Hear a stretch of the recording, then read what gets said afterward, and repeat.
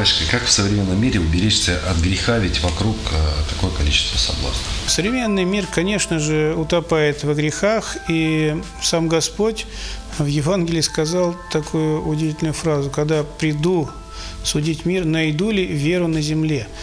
То есть э, для многих людей это является, так сказать, открытием, но мир не прогресс э, развивает, а регресс.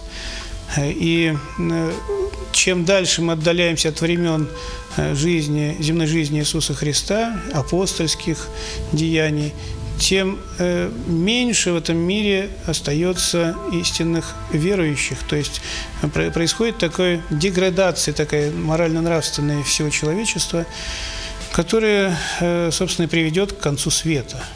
Когда полностью иссякнут силы духовные человечества, тогда Господь прекратит жизнь человечества вот в том мире, который мы сейчас все знаем. Как Э, уберечься от разрастания этой греховности.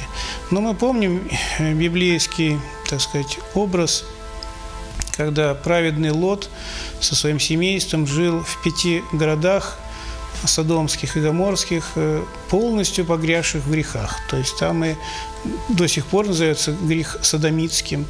Э, и э, помним, что Господь сжег эти города огнем именно за эти грехи. Но Лот был чистый, праведен среди этого.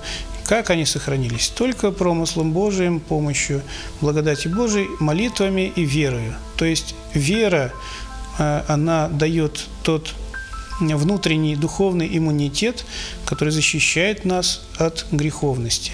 Если веры нет, молитвы нет, добрых дел нет, то ничто человека не защитит от развращенности греховной, и рано или поздно человек погибнет в этом.